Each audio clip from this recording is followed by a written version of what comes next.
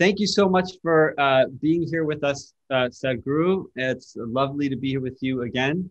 Yes. And uh, also, uh, Horacio uh, de la Iglesia, thank you so much for being with us today. Uh, we want to talk about, set the stage a little bit about what we're here to do today. Uh, the idea is that the lunar cycle, the moon, can influence people's behavior.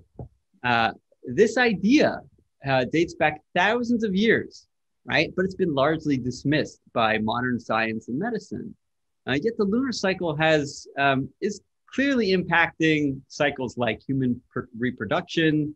Uh, I think it's very accepted that it influences the menstrual cycle and fertility in that way.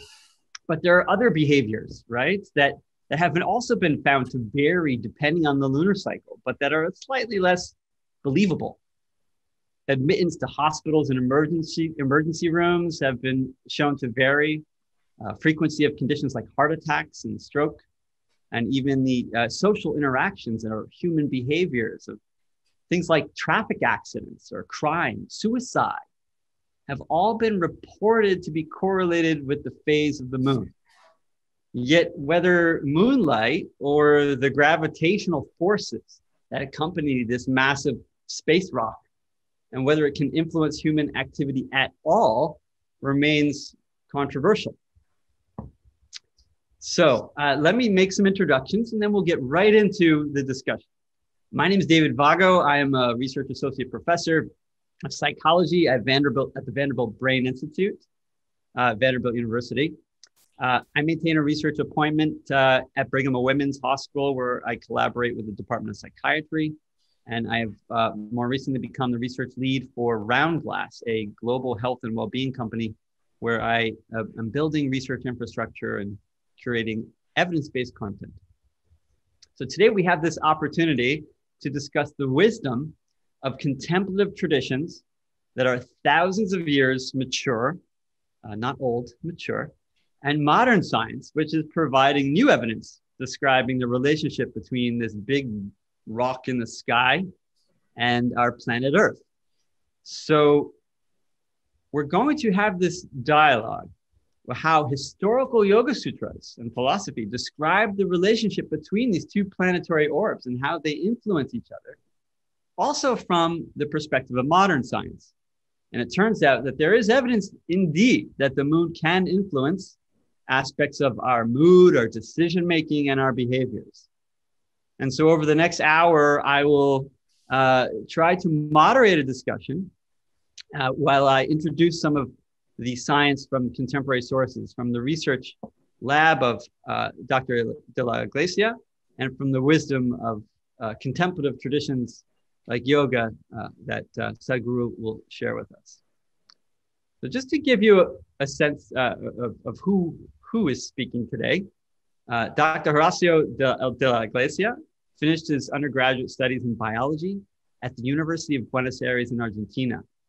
He got his PhD in neuroscience and behavior at the University of Massachusetts in Amherst, where he studied neuro the neuroanatomy of the master circadian clock of animals and the brain centers that control reproduction and the interactions between the anatomy and reproduction. He then continued his research as a postdoctoral fellow at the University of Massachusetts Medical School and later joined the University of Washington in the Department of Biology in 2003. His laboratory is interested in understanding how the neural systems encode time and generate rhythmic physiological and behavioral outputs to adapt to the temporal structure of our environment. I, uh, we are going to only have an hour together today because Horacio will be receiving a prestigious award from the oh, Argentine congratulations. Ministry of Science and Technology are acknowledging him and his work. So we will um, have to say goodbye a little early, but we're so excited to have you with us. Thank you for joining us, uh, Dr. De La Iglesia. Thank you, David and Sadhguru, for having me. And while Dr. De La Iglesia raises volume, I'm just going to introduce um, Sadhguru, uh, um, a man who really doesn't need much introduction, but he is a yogi, a mystic, a visionary, named one of India's 50 most influential people Sadhguru's work has touched the lives of millions worldwide through his transformational programs. Sadhguru has a unique ability to make the ancient yoga yogic sciences relevant to contemporary minds. He's an internationally renowned speaker. He engages with scientists um, fairly often and has been an influential voice at major global forums, including the United Nations, and the World Economic Forum, addressing issues as diverse as socioeconomic development, leadership, and spirituality. He's been invited to speak at leading educational institutions, including Oxford, London Business School, Stanford, Harvard, Yale, all the big institutions. So we're really uh, fortunate to have this group of people today, and uh, I will do my best to moderate the discussion. So thank you, Sadhguru, for, for being here and, and being with us today. Great. Thank I, you. On a day like this, when you're having an award, uh, having this conversation, wonderful, and congratulations once oh, again. It's a pleasure, please.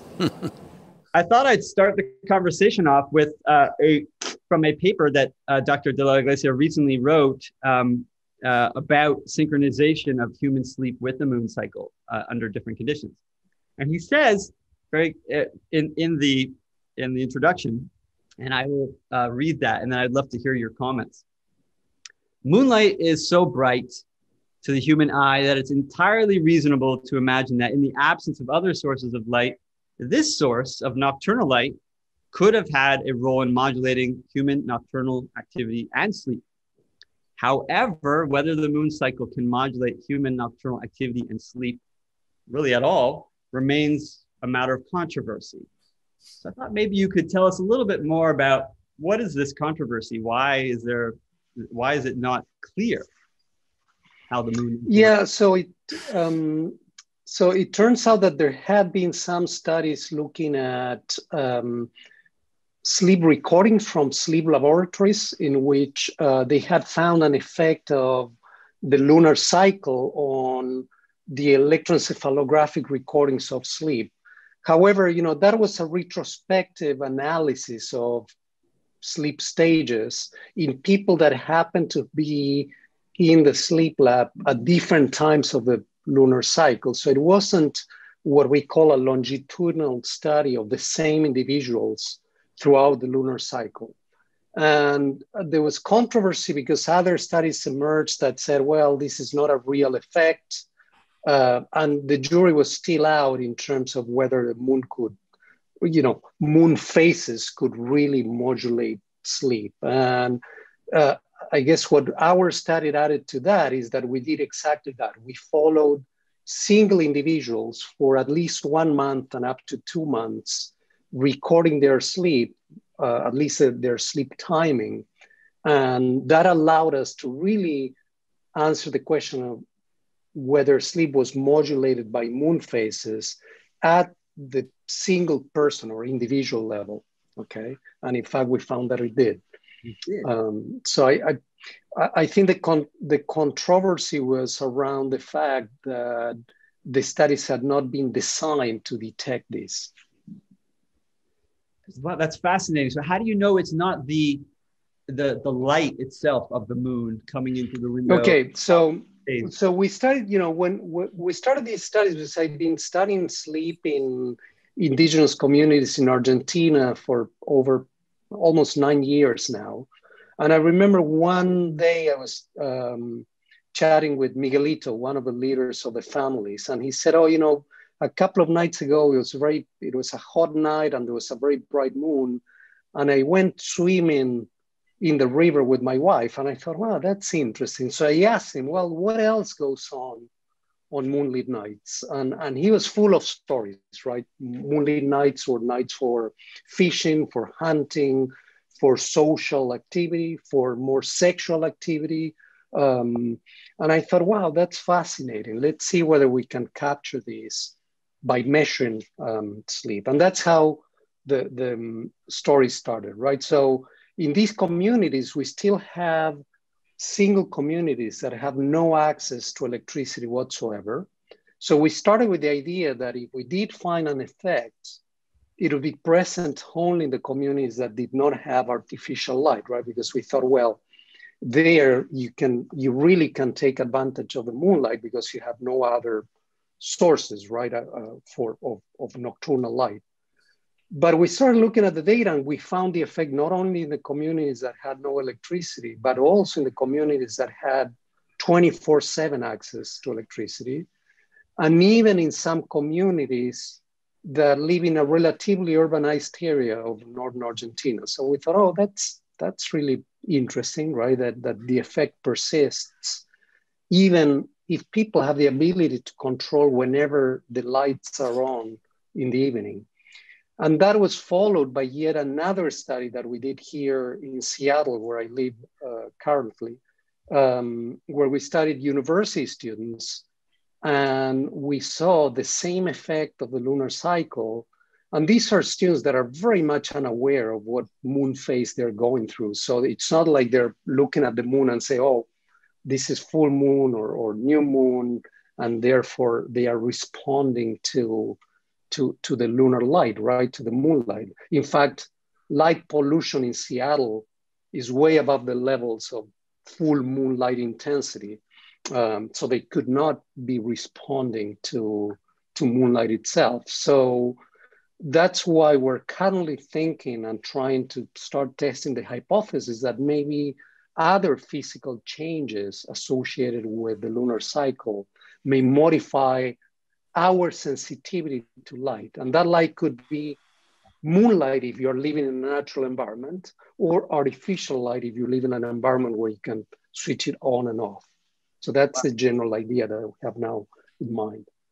It's so fascinating that that so you're you're saying that the, the controversy has been whether or not the moon can influence sleep, right? And that's the controversy. Yes. And that your your research has shown definitively that it, at least in uh, Argentinians and in students at University of Washington, maybe. Uh, yes. That the that the cycle um, may actually have an influence on how we're sensitive to light, and that the the light may be the mechanism by which it's influencing how uh, the efficiency in which we sleep. Um, but the gravitational force uh, may also have some sort of implication. I'm wondering if you could yes. Tell us a little bit about how there's a mass, right, that the moon carries and a mass that the Earth carries, and that all objects are have yeah. mass and carry some force. Is there something related to the the force by the just the mass of the two objects that is causing a, a, a change in human physiology? Well, you know, we, we're all familiar with tides, right? And, and actually, if you pay attention to, to tidal levels, it turns out that every 15 days, right, around the time of full moon and around the time of new moon, those tides get maximally high and maximally low. So the, it, it's what we call the spring tides. So they are the and the reason for that is that on those on those days, the moon, the sun, and the earth are aligned on the same axis. So the gravitational pull of the sun and the moon are added, and you experience maximally high daily tides. Um, there's so far no evidence whatsoever that humans can detect those changes in, in gravity, right? I mean, we, we still don't have that. We love to have that, right? But on the other hand, there's no other, we, we don't have at hand any other way to explain why in a place like Seattle, right, where you have no ability to sense the moonlight, you can still respond to the cycle of the moon in that way. So our idea is that on the nights previous to the full moon, because what's interesting is that what we found is that sleep starts later and is shorter on the few nights leading to the full moon, not, not around the full moon, but on the nights, you know, the, the shortest sleep duration takes place three to five days before the full moon. And it's what's interesting about those nights is that those are the nights in which moonlight is available at the end of the day. So it's available in the late evening and early night. And if you think about the utility of moonlight, right, in terms of our, you know, ancestors that were, you know, hunter gatherers.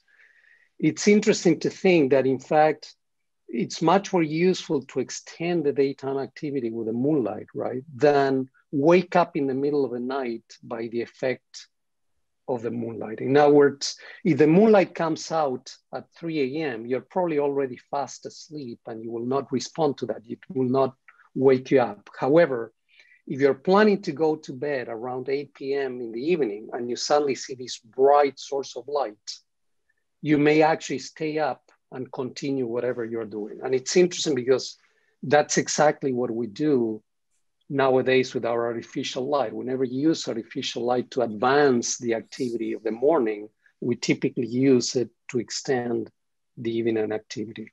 So we think that in a way, artificial light has tapped into this, this ancestral effect of the moon on our sleep.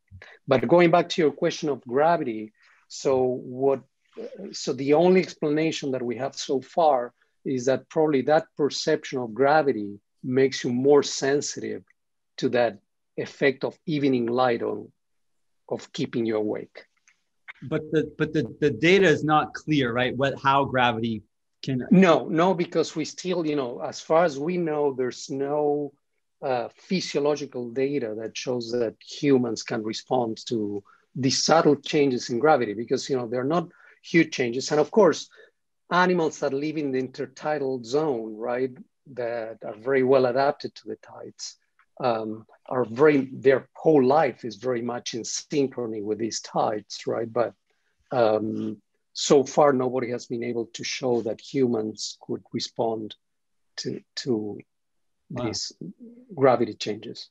So maybe Sadhguru, you could provide some light from from the yogic perspective. Uh, clearly, there's a large, um, you know, history of descriptions of how the moon can influence our physiology but there's no evidence from modern science to show that gravity, at least gravity, specifically the forces that bring two masses together, can influence how our body and mind function. Um, so I'm really curious about what the Hindu uh, scriptures will say and how it can maybe motivate and inspire some more research. Namaskaram. See, when from the yogic perspective, if you look at it, one uh, important arm of yoga, which is called as Hatha Yoga, simply means Ha means uh, the sun, Tha means the moon. Hatha means to bring a balance between these two forces. So, essentially, approximately seven to eight planets and the moon and the sun together have a significant influence on the making of life on this planet. This is how it is seen. In this, the sun, moon and the planet has the maximum impact. Well, uh, as uh, well the, uh, the male population may be confused about it, I think the female population in the world, human population, has always been uh, very much in sync with the cycles of the moon and that's the basis of our birth and our existence right now.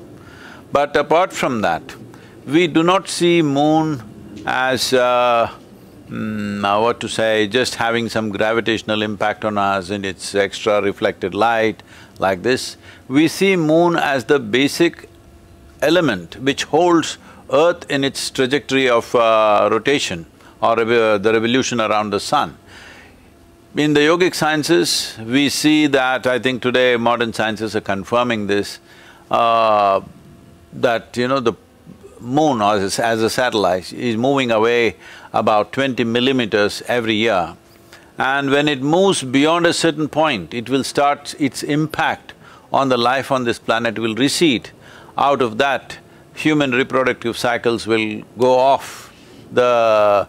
its normal cycle and that is how human… humanity will end.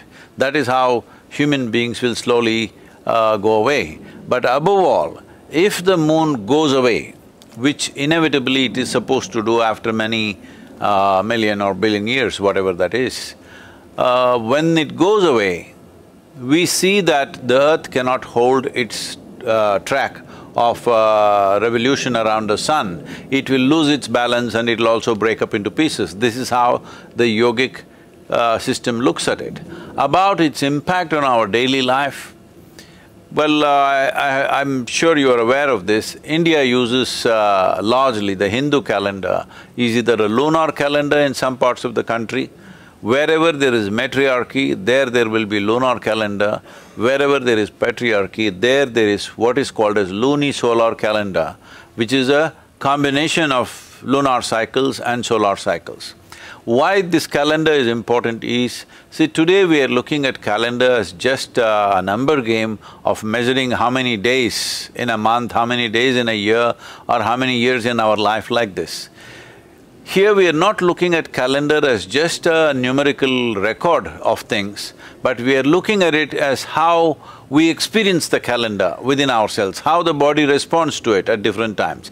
Accordingly, various traditions, practices, rituals were uh, crafted so that in those times you can make the best use of what is around you in the form of Earth's energy, in the form of Earth's uh, trajectory, how it is moving, how its uh, northern face of the Earth, where it is pointed towards, its closeness to the sun, all these things are taken into effect as to what sort of practices you do.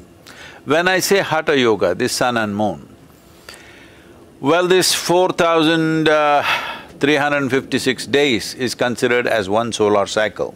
This is segmented in different ways for different people. For householders, it's segmented one way, for the yogis, it's segmented different ways, for the ascetics one way and people who are into regular worldly life another way because their bodies are tuned and they need to function differently. Accordingly, the calendar is used depending upon the moon phases and the…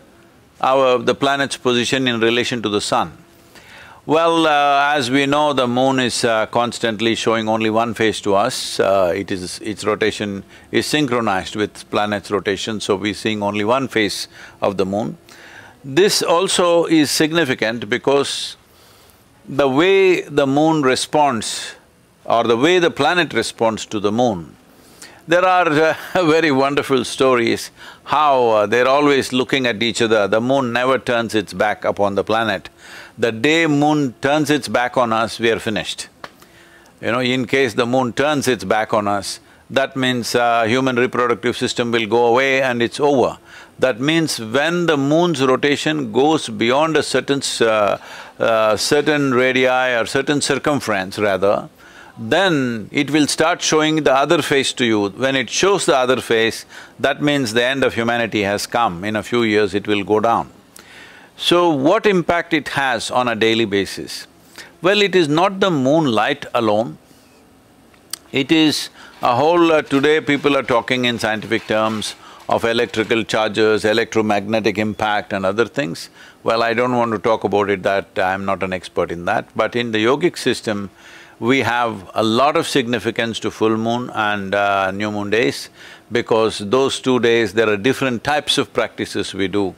Ascetics usually do practices during uh, uh, new moon days. People in the family way of life, they will do all their practices during the full moon night because the impact is very different.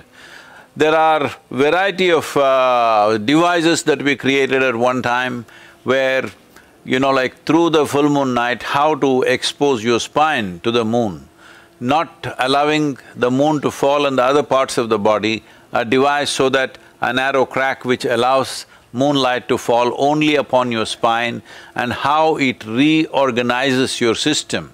Three moon… full moon nights like that could completely reorganize your system from ill health to health, from… Uh, for in women it was seen as from barrenness to, to fertility and various other aspects and also in the mystical world, various levels of perception were always, uh, you know, uh, connected with the moon.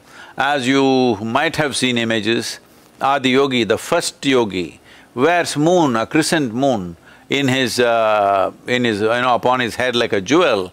This is to indicate that he is at the highest level of perception because human perception and moon are very connected. Well, today in terms of medical terms, you… Uh, I mean the doctors, you must uh, translate this, but I'm saying in medical terms, we may see it as, as there is a certain level of neurological stimulus. When I say neurological stimulus, why I'm talking about this is, see as in the evolutionary process of uh, life on this planet, of all the things, we are not the strongest uh, creature on this planet, but we have the most complex and sophisticated neurological system. That's what renders us as really on top of the pile of the evolutionary system. So this neurological development is the most significant aspect of who we are. And the neurological development of the human being and how stimulated it is and how active it, active it is and how balanced it is, is uh, in many ways directly related to the phases of the moon and there are very many ways in which people can make use of it to handle their various mental fluctuations and sloshings that they have. You know, many human beings go into tides themselves within their system because the whole oceans are going up, but 70, 72 percent of our body is also water. So there is fluctuation in the system. It is just that Generally, I know there are some studies saying on this day, mm, people tend to become more imbalanced or uh, those who have anxiety and manic depressions go off control, this kind of things. I would like to say the moon is not causing madness. I'm saying this so that moon is liberated from this word. Lunar means if you say loony, people think you're mad, all right? So, moon does not cause madness. Moon just pushes up your energy in a certain way. If your quality is joy, you will become more joyful. If your quality is love, you will become more loving. If you are meditative, you will become more meditative. If you have mental illnesses, that also gets enhanced. Whatever is your quality gets enhanced because of full moon. It is not causing any one particular quality in us, it definitely does not bring about madness. It is just that it enhances who you are on that day. Whatever is your quality finds uh, a larger uh, manifestation. Because of that, uh, maybe in the medical institutions, mental and other kinds of institutions, people may find uh, some kind of uh, exaggeration on those days. Wow. Well, thank you for that. That, that, that so that there's clear description of yoga's influence, uh, or, or at least the the influence of the moon, the, the relationship between the moon and human physiology is clear in hum, in yoga philosophy, right? And so, and, and, and almost even more intimately connected into our everyday lives than we would ever think, right? Most of our, at least in North American culture, most people hardly recognize that there's a moon outside. no, that's because they went to the moon, you know. That's a problem. yeah, maybe when we start, you know, traveling to the moon as like a, I don't know, as uh, for, for, for for for leisure, it'll be more in mind the importance of it.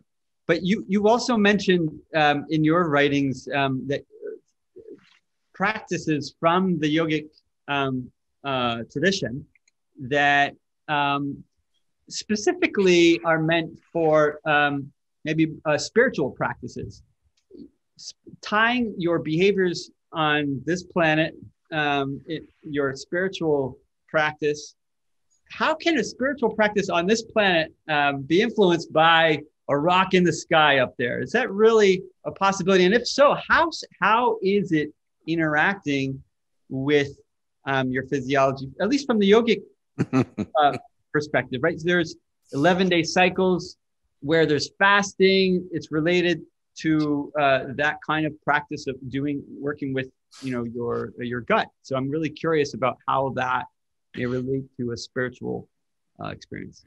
Well uh, david uh, we are all all this life including you and me are living on a rock here which we call as planet earth isn't it? It's just a rock for somebody else who is looking at us from elsewhere. So uh, about how it influences i I do not know what is the direction of studies which are going on, uh, but I think from what I have heard from people, people are largely trying to measure changes in the brain activity and stuff like that. But uh, it would be helpful because from my experience, I know that the maximum amount of change happens in your belly in this region, which you call as the gut, because that is where the real change happens and it has consequences in the brain and the rest of the body. So, one important aspect uh, of uh, taking in the moon, there are practices in yoga where you can live like every day, in your experience, it's like full moon. The same full moon impact is on in your body on a daily basis, there's a whole lot of practices like that. So we say this is a… somebody has become like an eternal moon within himself, that is like a full moon, always. Because uh, certain things can be done in the system, the impact that the full moon has on various aspects of your body, the cellular behavior in the system, this can be replicated on a daily basis simply by activating this dimension. Well, uh, to give some background to that, see, who we are as life is a consequence of how this planet functions. The… how this planet functions is a consequence of its position in the solar system and definitely the sun is a major powerhouse which fires everything and the moon, which is a satellite by our understanding, but it has a significant impact on the production of life on this planet. So what kind of life we are is essentially determined by these two aspects, sun and moon playing their influence upon the planet at various levels. There are other planets which have influences on you, but their impact is much lower and they are significant only to certain people, not for everybody. But fundamentally, sun, moon and the planet are the three celestial objects these celestial objects, moon, there is so much romance about moon, David just killed it, saying that it's just a rock in the sky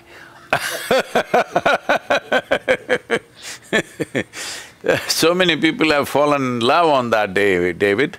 Uh, now you just made a rock in the sky Why is this rock so… so special? Uh, you know, compared to, you know, other stars in the sky? I mean, it is close, so we see it, we engage with it a little bit more, but is there something unique about the moon itself, um, or is it really just a, um, you know, just a, a, an organic sort of artifact of the of this influence of two massive rocks influencing each other? Uh, it is not that uh, the rocks, it is not the influence of the rock upon us, it is not the content or the mineral content of the rock which is making the difference. Maybe that also could be making, but uh, essentially it is the geometric placement of the moon in relation to the planet that it's making the difference.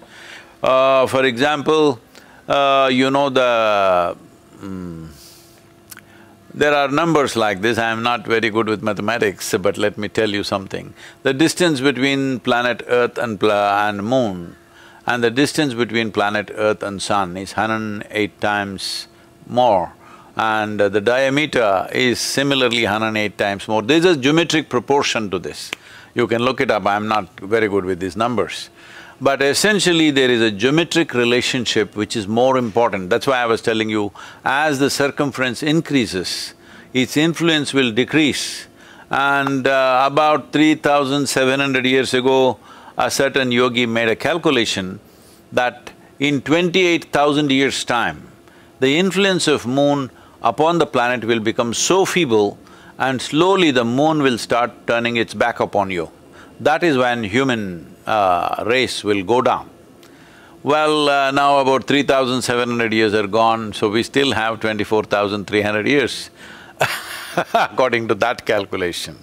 So, uh, as uh, this twenty millimeter excess of the radius that is happening year on year, which has been confirmed by scientific, scientific measurements, if this continues for another twenty-eight years or twenty-eight thousand years or so, then they say the influence of moon will become so minimal on the planet that it may not be able to help us to regenerate.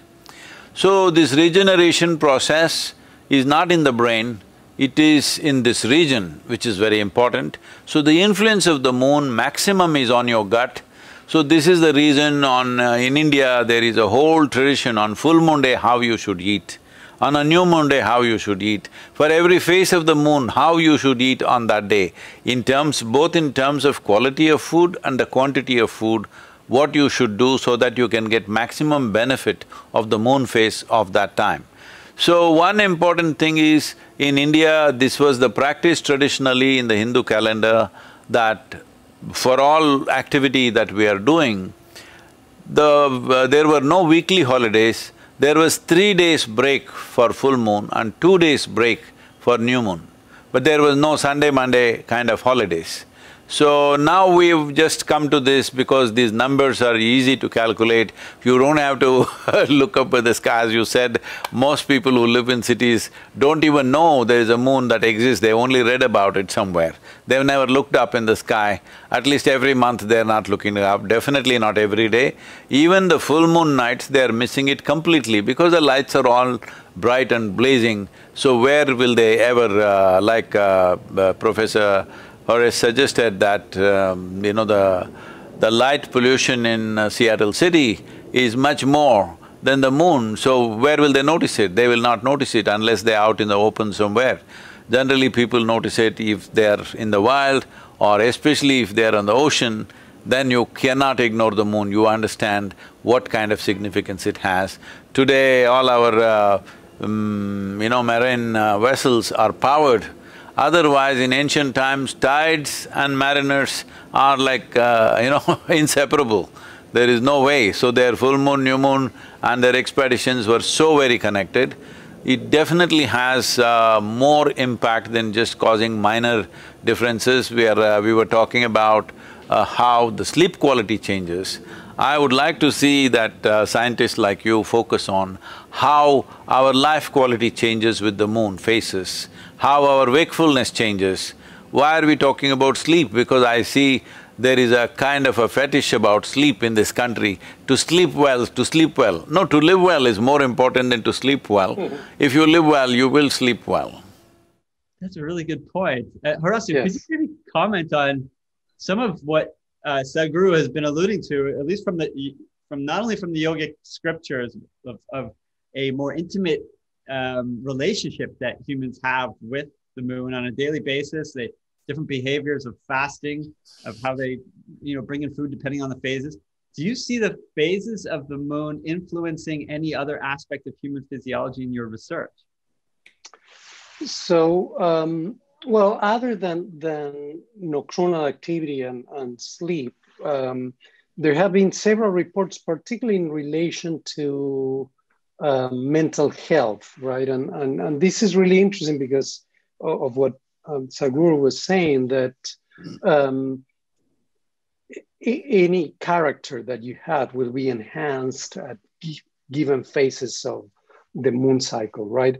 And of course, if you think, for instance, uh, of a, about a psychotic patient, right? Um, if you think about our sleep wake cycles, right, that are modulated by the moon cycle, then if you're going to stay up later on the nights that are leading to the full moon, then you'd have more of an opportunity to exhibit your psychotic symptoms, right? And this could be perceived by other people as an enhancement of the psychotic symptoms. But it turns out that there's some literature that really suggests that might, there may be a real enhancement of those symptoms. And this is particularly in bipolar patients that, um, you know, I don't know to what extent the audience knows about this, but bipolar patients are characterized by this cycling between depressive and manic states, right? And it turns out that it's very well characterized that in a bipolar patient, if you shorten the sleep, whether spontaneously or you, you, you force this for environmental influences, they will get more manic. Whereas if you lengthen sleep, that's associated with more depressive symptoms. And it turns out that there's been several publications showing that bipolar patients had a very striking synchronization, some bipolar patients, right, um, with the moon phases, and in turn, that seems to be related with symptom with, with, symptoms of the disease. And this this would make sense right? If, if you're going to shorten your sleep around the nights before the new moon that sorry uh, before the full moon that could lead to more manic expression of, of, of the disease. Whereas if you're going to lengthen it before the new moon that could lead to um, to more depressive symptoms of the of a disease. Um, you know, what I, I, I, find really fascinating um, this idea that, that, you know, any, any, um, any personal character that you have, you know, will be enhanced by the moon cycle. And I, I guess, you know, one, one question that I was thinking about is is there any is there something special about the nights leading to the full moon in terms of preparation for that night of a full moon in, in the in the uh, yoga culture, right? Because that's when we find that main effect, right? That that sleep is more severely affected on the nights previous to the full moon, not on the night of the full moon itself. So I wonder whether there are some practices that are associated with those nights specifically, right? Or, or with those days in general. Um, so anyway, I don't know if I answer your question, David, but but uh, well, yeah, no, this is it. It's it. You're alluding to this. Uh, the the question really is still unknown. How and and Sadhguru, yeah. you also posed the question: How how does the moon really influence you know behavior? We don't really understand that. Gra- at least the gravitational mechanism. The light sensitivity one's interesting in the sense that so you said that the light that's produced by the moon is not even as bright as the the pollution you get from the city. Yeah. So why would you be more sensitive to that light even through another mechanism like a gravitational force? Yeah. Uh, yeah, and of course we don't we don't know what the mechanism is, but it, but it's it's a fascinating question, and it it goes back it goes back to um, what Sadhguru is saying that yes, we live in an environment where we're completely unaware of what the moon is doing in terms of the lunar month, right? But yet, you know, there may be inescapable influences of the moon on our physiology, right? That even if you live in a completely isolated built environment with thick curtains, you know, turning the artificial light whenever you want, you may still be under that influence. And, and that's suggested by our research in these highly urbanized environments like Seattle. It's it's fascinating. So I, I, I was I was involved in some research actually at Brigham Women's Hospital uh, that looked at circadian rhythms and Charles Czeisler, who is one of the world-renowned experts in this area, he he showed that you can you can use um, a light cue as small as a spot of light, maybe the size of a nickel, on the back yeah. of your knee to actually influence your circadian rhythm to, to, to change the rhythm so if light that small actually yeah you know i think that the the, the story on the, the light on the back of the knee was finally not it was it wasn't from chuck Czeisler's lab but okay. um, but i think that didn't eventually hold that story was from another lab but in any case but yeah but but i guess the point which is very important is that very dim light can influence your circadian system, right? And Much dimmer than we used to think about. And a question would be Do you think that the spectrum of light from the moon is something unique compared to, say, other you know, artificial light? So, you know, it, it likely is, but we don't think that that's probably how, um, that was probably the, the most important, if you want, throughout evolution, the most important selective pressure for nocturnal activity. Um, again, going back to our ancestors, right? If you think about somebody living in Europe 30,000 years ago, where, you know, throughout the fall, the, the days are getting shorter and shorter, and you need to gather food for the whole winter. Well, you know, any extra little bit of light that you could get in the evening, you take advantage of it, right? Um, if you think from that perspective, that that must have been a tremendous influence. And you know, we have the, the latest records indicates that we have 300,000 years of human evolution on Earth, right? That effect of the moon has been there for 300,000 years. And, and it's, to me, it's almost intuitive that there may have been selective pressures from the moon throughout evolution to actually influence our physiology, right? Is there is there anything from the sciences to suggest that because of what Sadhguru was was alluding to also was that the moon is shifting on its axis, and so is you know so is our magnetic poles, and we know that that is also influencing um, rhythms uh, biologically and um, you know on Earth seasonally.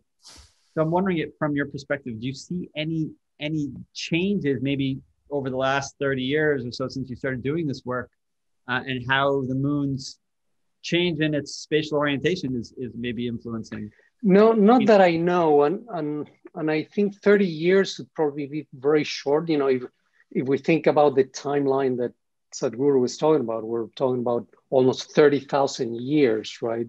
So half a lifetime probably will not capture that, right? But but uh, I, you know, at, at, least as far as I know, I I don't know of any studies that have looked at that specifically.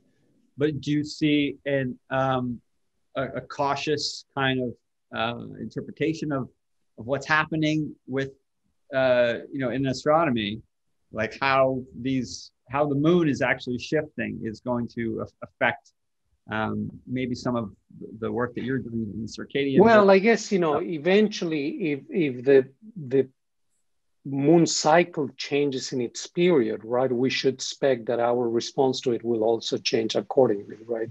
Um, you know, uh, even even if it is small changes, that would be a prediction that that could be tested. But again, I don't know how um, how big those differences will be, you know, in a in our testable life, right? I mean, at least in my life, I don't think I'll I'll see those changes. That that uh, understood. That that's probably well said. I, I would ask, though, given our limited amount of time together, that Sadhguru had alluded also to the the the relationship of uh, mysticism or spirituality and the moon with humans. And I know you've done some work with with animals um, and melatonin. I'm wondering if you could, you know, in, in in the best way possible, to summarize that work. And I only bring it up because melatonin is this precursor to um, uh, was it dimethyltryptamine, which is a psychedelic. Uh, it's produced in the in the pineal gland, and it has all these implications for mysticism. So I'm wondering if if you could talk a little bit about some of the work you've seen in that, in that yeah so you know we've done some studies in in animals and one study specifically where we studied the moon cycle in animals is with um, monkeys monkeys that are actually nocturnal which are very rare. They live throughout south america. This is the only genus of monkeys that are truly nocturnal. And amazingly you know these animals are heavily dependent on the lunar cycle right? So it's kind of going back to what Sadhguru was saying that you know people that are connected with nature are very well aware right of what the moon does to them and how they depend on the moon uh, even for agriculture you know. I mean people are timing when they plant and they and when they collect based on lunar cycles. Um, well for animals it's even more and i don't think there's probably any any single species that lives in the wild that is not somehow connected in its sleep and, and, and circadian rhythmicity with the lunar cycle, right? It would be very unlikely that that's the case. Um, I'm talking about animals, right? Um, I guess going to melatonin, melatonin, of course, is this, this amazing signal for the brain of where your biological night is. And one of the things that we're trying to determine now is where the the lunar phase has the ability of changing that biological night signal, which is melatonin. Melatonin is the most important signal for the brain in terms of when is it that it's a biological night, right? Um, and we think that maybe one of the mechanisms by which the moon may change the timing of your sleep is by changing that that nocturnal signal, right, that marks the beginning of, of the night. But there's still no evidence, neither from, from animal models nor from human models. We're kind of moving towards that uh, in the next phases of these, these studies. But melatonin in general is a, um, you know, it's produced by the pineal gland. Could you co- comment on, it's controversial in the sense that it's been thought of as like a mystical um, chemical. Yeah, you know, I I I don't know how strong that that evidence is. I I mm-hmm. um, you know, it, it's clearly you know um, a, a, an extremely important signal for the brain to know where your night, your internal night is. And of course, you know, part of the problem is, is that artificial light can acutely inhibit the release of melatonin. So we are every single day we're tampering with that natural nocturnal signal signal by by getting exposed to even very dim levels of light you know the light that you use to read a book next to your you know next to your bed is sufficient to inhibit melatonin. So we're always sending the brain the signal that the night has not started when in fact it has right yeah that's that's very helpful just to give a sense of of how you know the body has this internal endogenous clock right that that helps keep our time um, within the same period of this periodicity of, of a day right? Day is yes. 24 hours but our natural rhythm is around 25 hours right? Yes and, yeah exactly. and then there's this chemical in the brain that's released from you know what, Descartes referred to as the seat of the soul, and yes, and the Egyptians uh, you know referred to as the the eye of Horus. The only unilateral structure in the brain is in the, the brain. And it seems like a very interesting structure, and it's been implicated in um, uh, well mystical states only because it it has there is uh, some limited data, like uh, Horacio was uh, alluding to, that its data is not very convincing, but it is a it is uh, the data that does exist it shows that it's a precursor to a, a chemical that's naturally occurring in the brain and is uh, DMT. It's a it's a psychedelic that's used for very short, um, intense psychedelic experiences. Mm-hmm.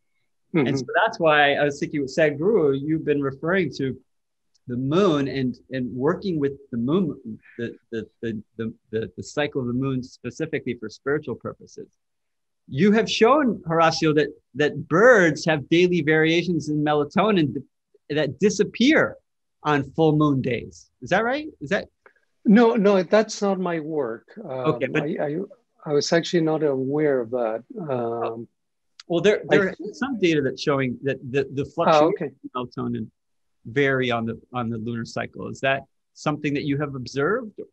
In your work? Not, not yet. No, and we are actually gearing to do those experiments, those studies in, in human subjects, but we need to do that under laboratory conditions because of the fact that humans are very bad at exposing themselves to artificial light and erasing the natural signal of the night, which is melatonin. So, in order to capture that, you need to put them in a lab where they remain very relaxed under very dim light and then then you can really see where is the natural melatonin signal sitting at in terms of knowing. Wow. Well, David, uh, the thing is, uh, see, in the yogic system, there are simple processes with which, particularly on full moon nights, where you can get totally stoned out just on moonlight. Mm -hmm. There are processes to do that.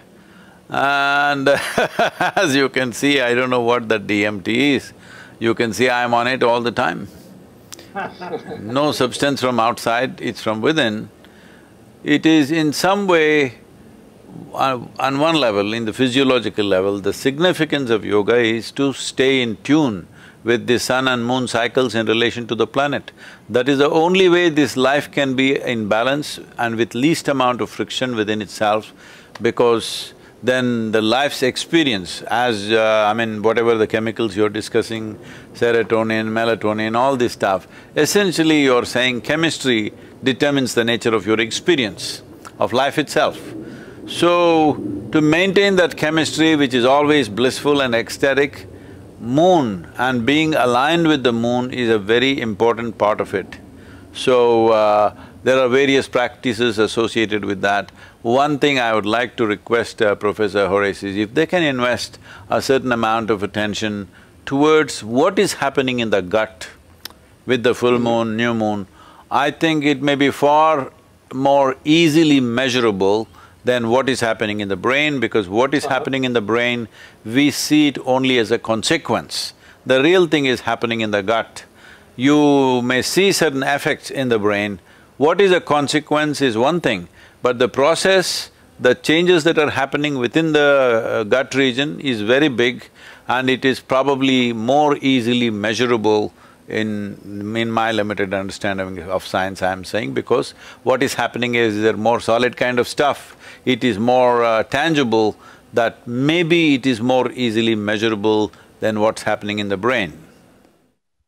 yeah, that's a great idea, and there's a lot of uh, research emerging on the importance of the gut, not just in general in general physiology and neuroscience, but particularly in circadian rhythms. So uh, and it, it is there are de- definitely some physiological outputs that we could look at in our studies. So that's a great suggestion.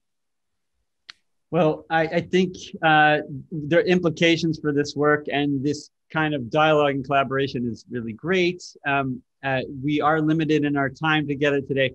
Uh, so, in in closing, um, are there any reflections that you want to um, uh, reflect upon at this at this time. Uh, Horacio, maybe we could start with you, and then we can end with Sadhguru.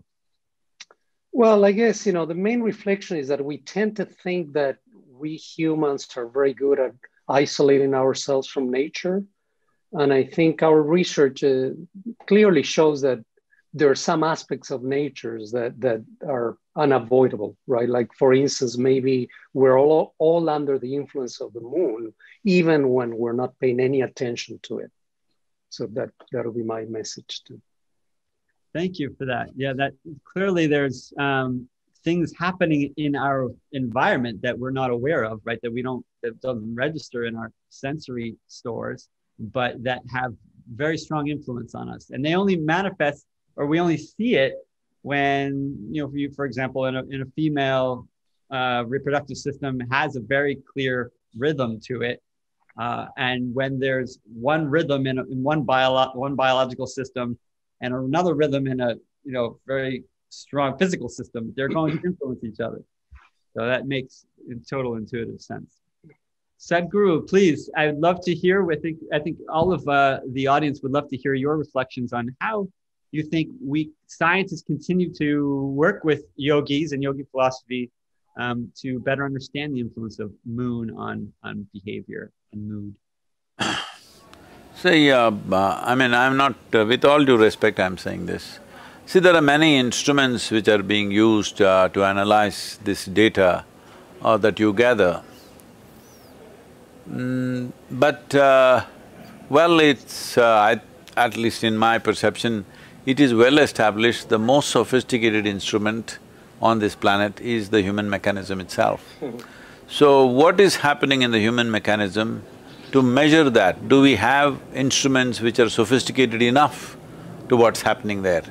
So, why can't we do experiments where people who are in different… Uh, at least at a certain level of sadhana, their body itself is treated as an instrument of measurement, what is happening there, not necessarily taking uh, their blood samples or neurological impulses and saying this and that. Yes, that is important at one level, but I'm saying beyond that, why don't we prepare people who the very body can be treated as an instrument, what it is saying, that is more important because ultimately that is human experience also. So if we want uh, this… the efforts of scientists to become a practical, implementable process, I think if we… I know this may be deflecting or deviating from how science has been till now, but I feel a time has come for that because in this modern sciences, they clearly, clearly recognize there cannot be another gadget on this planet which is more sensitive, more sophisticated than human body itself. So how to use that if uh, scientists can arrive at that, I think what is going at a snail's pace could leaps… could go leaps and bounds and this generation could benefit, not uh, some other future generation. yeah, that, that's a great idea. So, so now, and I apologize for having to leave early, but I really need to go to that um, um, Thank you, Doctor, for this. Uh... Thank you very much, um, everybody, and um, it, has been a great experience to to hear you, Sadhguru, and, and all your wisdom and ideas. You know, I, I already have at least a couple of ideas that are uh, that may actually change how we go over our studies. So thanks a lot. Namaskaram. Thank you very much. Namaskaram. Thank you so much, both of you, for participating today. And thank you all for listening and participating wherever you may be. May the moon have good influences on you all.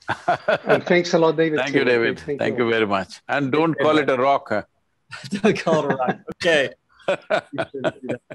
Namaskar. Namaskaram.